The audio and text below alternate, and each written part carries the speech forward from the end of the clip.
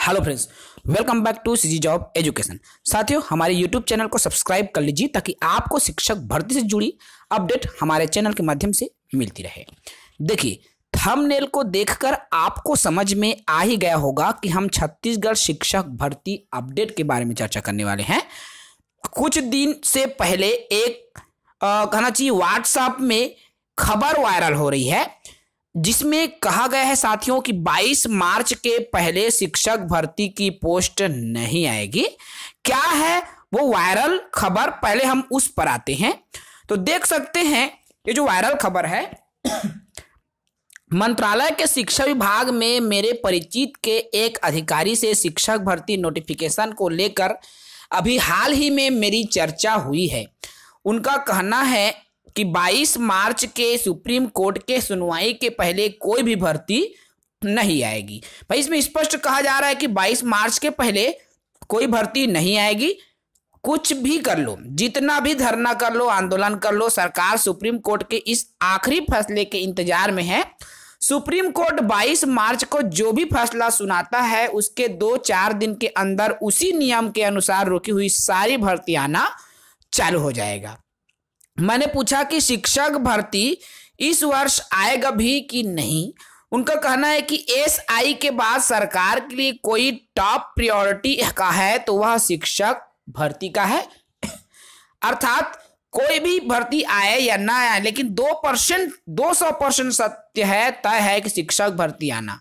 उन्होंने बताया कि शिक्षा विभाग में शिक्षक भर्ती को लेकर पूरी जो कागज़ी काम है, वो पूरा तैयार है। बस सुप्रीम कोर्ट के फैसले दो चार दिन के अंदर भर्ती तत्कालिक आरक्षण नियम अनुसार जारी कर दिया जाएगा। अगर सुप्रीम कोर्ट आगे की तारीख में डेट देगा तो भी सरकार 50 प्रतिशत के अनुसार ही दो से चार दिन के भीतर में भर्ती चालू कर देगी। 22 मार्च लास्ट डेडलाइन है सरकार का। ये जो वायरल खबर है, मैंने उनसे पूछा कि हम अभी आगे शिक्षक भर्ती के लिए आंदोलन करने वाले हैं, वो सही है कि नहीं? उससे क्या सरकार प्रेशर में आएगी, भर्ती जल्दी लाएगी? उनका फिर से वही कहना है कि 22 मार्च के सुप्रीम कोर्ट के सुनवाई के पहले भर्ती आना नामुमकिन है। और आंदोलन पर बोले, ये आंदोलन का कोई फ़र्क नहीं पड़ने वाला। भर्ती March last week, April first week के में ही आना तय है। तुम लोग अपना, अगर पढ़ाई लिखाई छोड़कर ये सब काम नहीं तुम्हें नहीं करना चाहिए, क्योंकि जब मार्च लास्ट में भर्ती आना चालू होगा तो मुश्किल से 20 से 25 दिन ही देगा इस बार पढ़ने को, क्योंकि सरकार को इस बार तीन चार माह के अंदर ही बहुत सारी भर्ती परीक्षा लेनी है। ये सब छोड़कर अपने पढ़ाई पे फोकस करो, शिक्षक भर्ती को आने से कोई फ़र्क नहीं पड़ता या कोई नहीं रोक सकता, वो आकर ही रहेगा।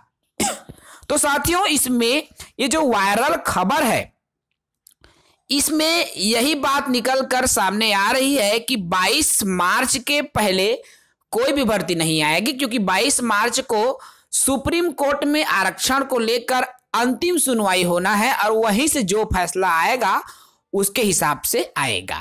देखिए, ये कहाँ तक सच है, ये कह पाना मुश्किल है।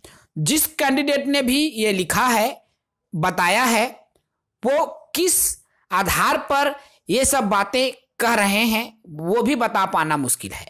लेकिन ये भी आप हाँ सौ प्रतिशत क्या दो सौ प्रतिशत ये बात बिल्कुल सही कही कि शिक्षक भर्ती आएगी, दो सौ प्रतिशत आएगी, बिल्कुल चुनाव के पहले। मैं ये बात, मैं भी हमेशा बोलता हूँ, चुनावी सत्र है और शिक्षक भर्ती को कोई नहीं रोक सकता। शिक्षक भर्ती आएगी क्योंकि शिक्षक भर्ती छोटी मोटी भर्ती नहीं है, बारह हज़ार चार सौ नवासी बहुत बड़ा पद होता है, साथियों। ये उनके लिए कहना चाहिए, एक ऐसे चाबी की तरह है, जिससे कि वो लाखों युवाओं, साथ ही साथ उनके परिवार के सदस्यों को भी वो अपने मुट्ठी में कर सकता है सरकार। तो शिक्षक भर्ती आएगी, सौ प्रतिशत आएगी। बसरते दूसरी बात यह है कि जो 22 मार्च तक नहीं आएगी, ये अभी कह पाना मुश्किल है, लेकिन जहाँ तक ये वायरल न्यूज़ है, वास्तव में हर इंसान, हर वो बेरोजगार यही सोच रहा है। ऐसा इसलिए क्योंकि भाई इतना दिन हो गया, सरकार जब तक आरक्षण क्लियर नहीं होगा, तब तक वैकेंसी जारी नहीं करेगा। तो सभी यही मान के चल रहे हैं कि 22 मार्च के पहले नहीं आएगा, क्योंकि 22 मार्च को आरक्षण पर सुनवाई होना है। है ना भाई? अरे ये सर ये जो वायरल हुआ है उसमें कहा गया है कि 22 मार्च अंतिम है। यदि 22 मार्च को सुनवाई हो जाता है तो भी अच्छी बात है, और नहीं होता है तो 50 प्रतिशत के आधार पर वैकेंसी आएगी। लेकिन अंतिम समय है 22 मार्च ही अंतिम है, आपको 22 मार्च तक इंतज़ार करना पड़ेगा। उसके बाद वैकेंसी आना तय है, ऐसा कहना है इस वायरल खबर पर। लेकिन जो भी हो साथी, हम भी इंतज़ार कर ही सकते हैं, है ना? क्योंकि इतने दिन तक इंतज़ार किए हैं 22 मार्च तक फिर इंतज़ार करके देखते हैं। भले ही इंतज़ार बेहद मुश्किल है, लेकिन तैयारी जो आपको मिल रहा है, उसमें आप तैयारी करो। ये सच बात है साथियों, अगर वैकेंसी आ गई ना तो आपको पढ़ने का ज़्यादा समय नहीं मिलेगा।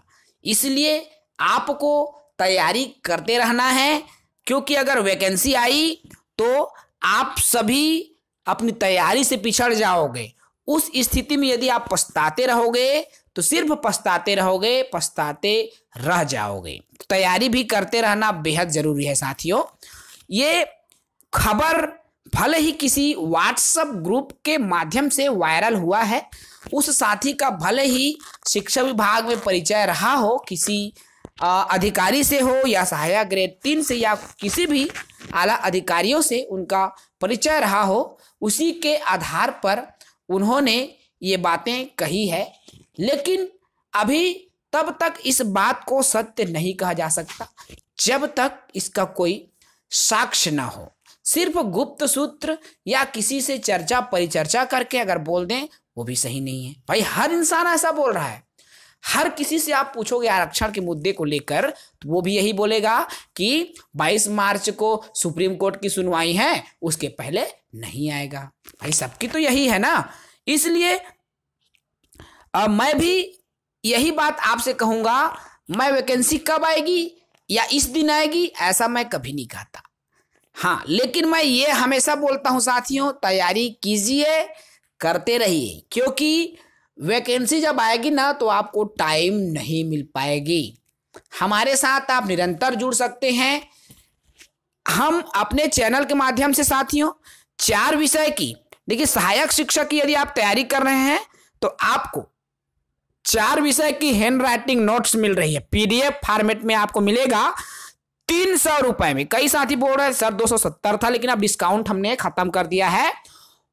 दीपावली के आसपास था। तो तीन सौ रुपए में आपको चारों विषयों की जो नोट्स है, वो मिल जाएँगी। इन चारों विषयों में आपका बाल विकास है, पर्यावरण है, गणित है और अंग्रेज़ी है। ये चार विषय सहायक शिक्षक के नोट्स यदि आप खरीदना चाहते हैं तो आपको स्क्रीन पर एक नंबर शो हो रहा है, देख सकते हैं। Double eight three nine seven three double zero nine two. ये नंबर है, आप इस नंबर पर कांटेक्ट कीजिए और आप जो फ़ीस रखा गया है उसको पे करके पीडीएफ नोट्स आप प्राप्त कर सकते हैं। हज़ारों साथियों ने हमारे नोट्स खरीद रखा है। यदि आप अभी तक हमारे नोट्स नहीं खरीदे हैं साथियों तो अभी कॉल करें और अभी नोट्स खरीदें। जय हिंद।